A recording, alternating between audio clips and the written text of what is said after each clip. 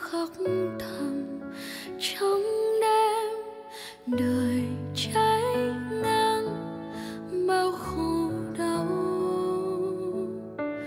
Người đến với nhau sau nhiều yêu phiền, dân nan người nằm xuống khóc thương cho người ở lại.